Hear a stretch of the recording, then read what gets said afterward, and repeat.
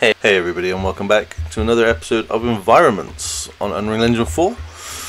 Last time we looked at terrain and just how we can sort of alter the look of our terrain, make uh, mountain hills or make divots in the in the landscape, and obviously change things like our um, different sort of textures we had on there, um, all using the powerful tool Brushify.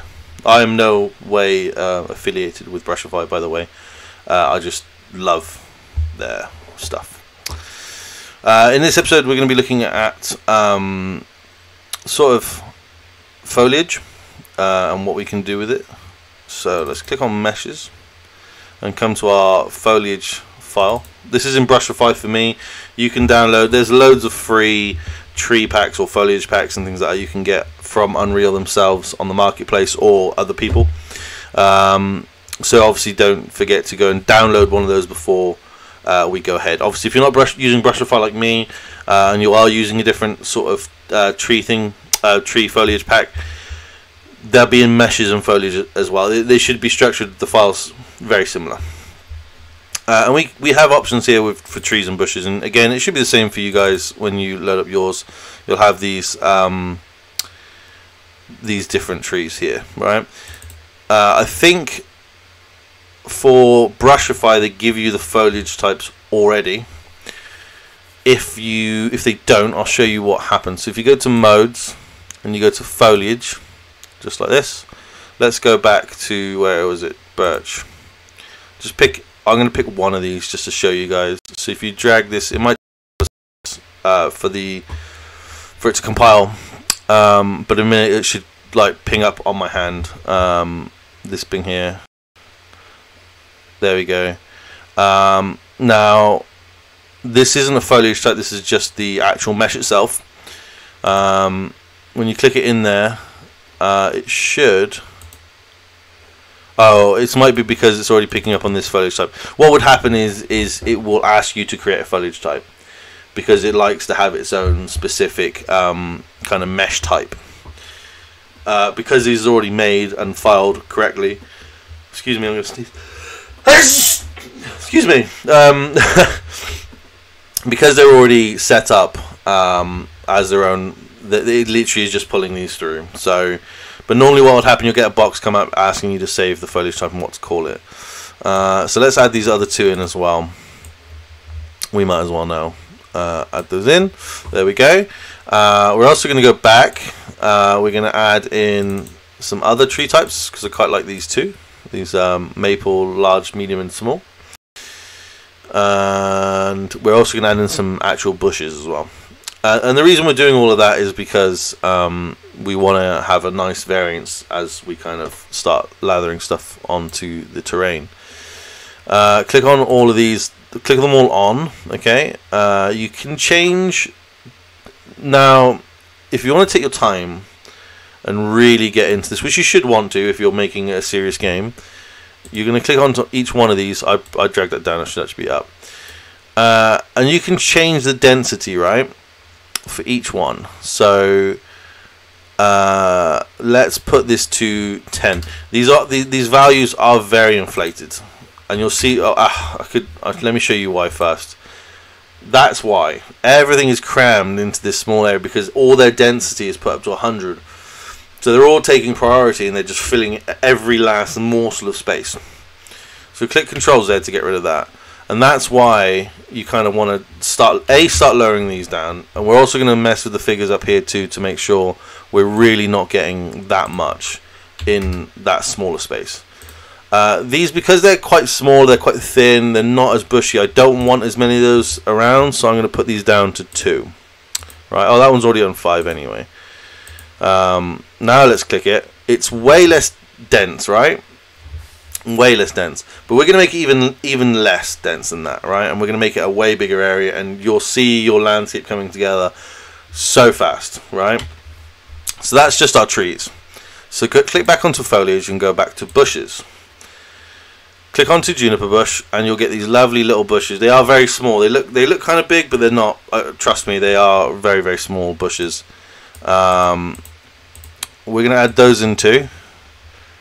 Now, if you're using the marketplace, there is far more stuff you can utilize.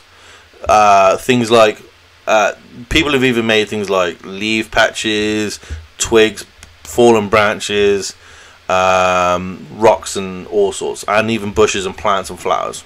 Because this is quite powerful and it already does the things like the little flowers for you we don't have to worry about things like that. We, we don't have to worry about going to the marketplace to do that. So if you're using Brushify, they've done the flowers for you, and it actually already looks fantastic. So there's really nothing you need to do there. Um, we're going to bring the bushes down to probably about five for each because we don't want that to really overpower anything else, uh, especially not our maple trees. Okay, so let's make the size of this thing way bigger. There we go, much better. Now you can see the density of this is already still far too much. I mean, we could walk through this. You might be happy with a dense forest. You might want a dense forest. Uh, you will be able to walk through these trees until we add collisions on. But if you don't have collisions on, this is going to be a nightmare to get through uh, from one end to the other. And especially if you don't have a map or a compass, you could be walking in circles and you wouldn't even know. Far too dense, in my opinion. Um, so let's come out of that. Um, so what we want to do is we want to change this density. It's, it's only on 0.5, bear in mind. So let's try a 0.05 instead and see how much we get. Still a huge, oh god, still a huge amount really in the grand scheme of things. Wow. Even a 0.05, that's incredible. Okay, uh, let's try 0.005. Better, way better. There we go. So you now have got these like larger breaks between trees and foliage, and you've got these cool little bushes. And if you wanted to build sort of um, um, a sort of key location within this small uh, area, you can easily erase stuff, right? Make your size a lot smaller so you're not taking out nearly everything. Uh, let's put it to 110 you can just erase as you see fit okay? And you can open up a little bit of an area and start messing around right? Uh, and what makes this tool so useful when you're working in Unreal Engine is that if I re-put that to the top now we're happy with the space of everything you can literally just start painting this might take a couple of seconds to uh, to load up. Is it painting? No, it's because I'm on erase. Apologies. There you go. You can literally paint your whole terrain. Okay, space things out a little bit so you've got some open land and things like that. Don't paint your mountains so they can still stand out a bit. There you go. And and within a couple of seconds, as long as you've got your planning right for your own game, all your trees and your foliage and your, your bushes, they're done. They're absolutely done.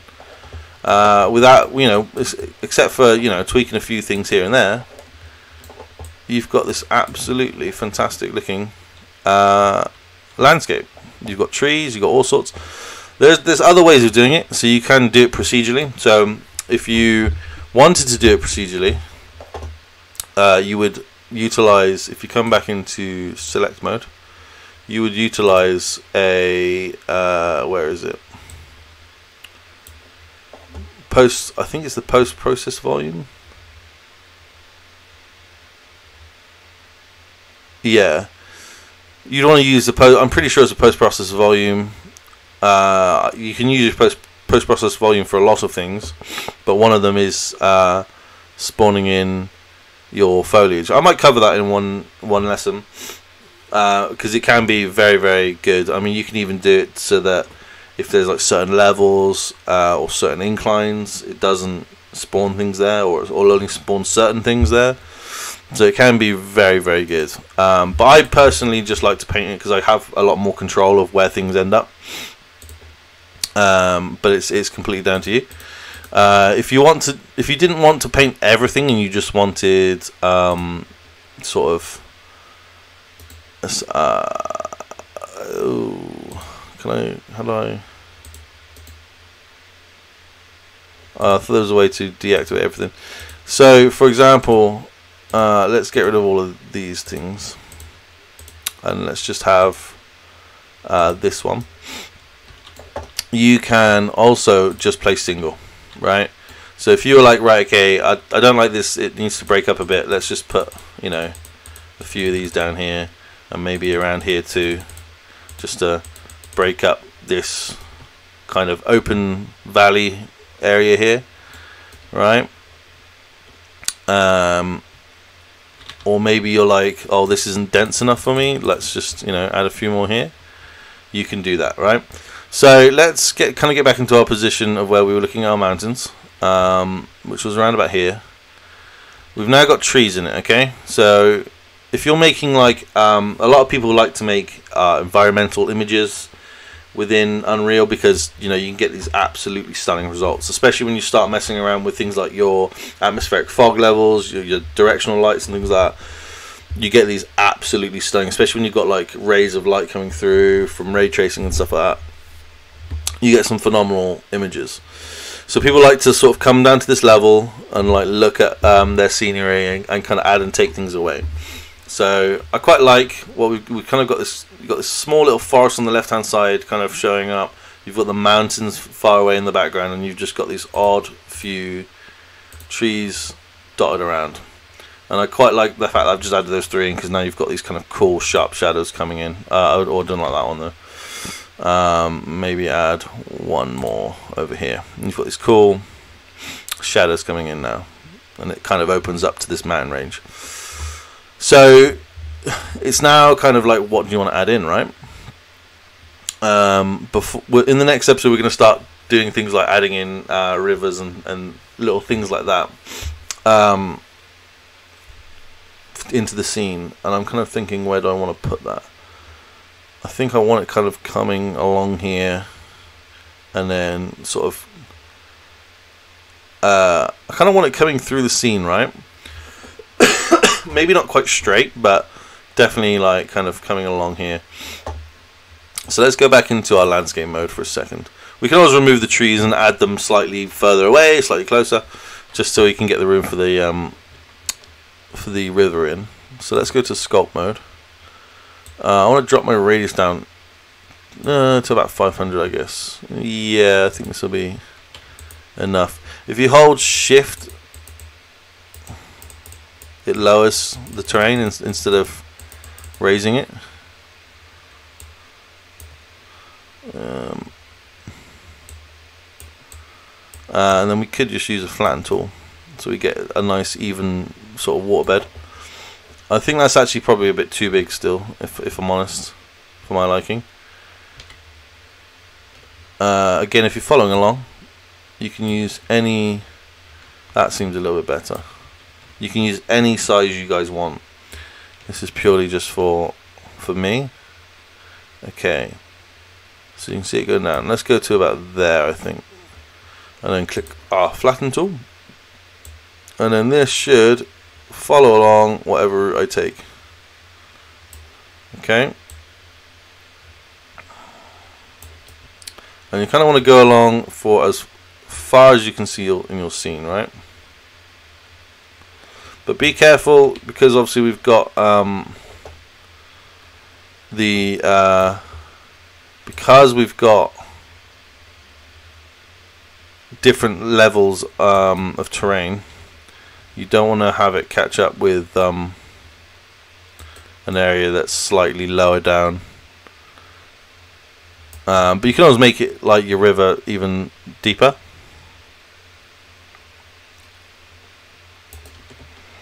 I mean, that doesn't even look that deep, actually, does it? Let's be honest. Right. I think we're to go a bit lower. a bit lower than that. Right. Um, shift and down. Down, down, down, down, down. Right. Flatten tool. And you, again, I know we're getting some sharp edges, but you can also smooth these out once we're done. Is that? It really doesn't seem that low, does it?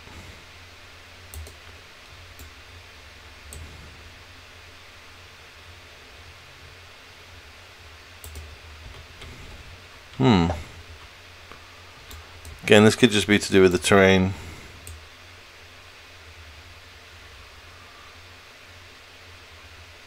Interesting. Okay. Some. Let's just get rid of that darn plant. Uh, erase. Oh, I got rid of probably a bit too much. we can always add it back in. It's all good. So go back to our landscape tool. Sculpt, flattens on. Great. And just follow it along. Uh, there we go. And we did say we wanted to come towards those keep doing it. Sometimes it can be hard to see the route you're taking, especially as it starts to level out a bit too much. Um, okay. Right, I think we have to go even deeper. Um,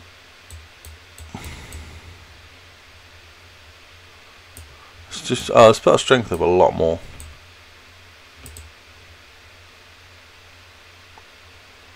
There we go. That looks a bit better. Right, we can always go lower where the terrain changes. Just that. Uh, get some grey in it so we know roughly where we're working with. That's better. Loads better. Then we can also smooth out these jagged edges, as I said before, so don't be too alarmed if you're following along and you're getting a lot of them. Uh, that will ha that they will go when um, we smooth things out. Okay, cracking stuff. Um, I think it should be okay. So we were around about here. We're gonna have to rebuild the plant, the trees again, because you had that little bit of forest coming up, like so. And as you can see, we've now got we can move away from it a little bit more. Um, we've got this cool riverbed in there. So let's go back to our foliage and click paint. And we're just going to let the randomizer take effect, if it will. Oh, it's because ah ah would help if I turned everything on, wouldn't it? There we go. Now I'll let the randomizer take effect a bit. Okay.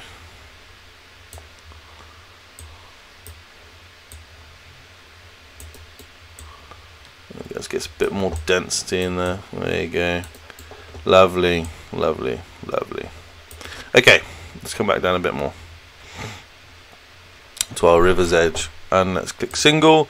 I'm going to untick these and this will be the final thing we do in this episode. But hopefully you've learned a little bit more about foliage and how it can, um, how effective it can be and how quick it can be and how easy it can be. Um, Let's move over a little bit. Yeah, that's nice. We'll uh, we'll open up that that scene, that mountain range a bit more uh, in the next episode. But yeah, nice, quick, easy. If you've got the uh, items, I mean, you can make your own trees. You can do that in Blender, relatively quick and easy. Um, and yeah, just it it can be so easy, right? It doesn't have to be hard.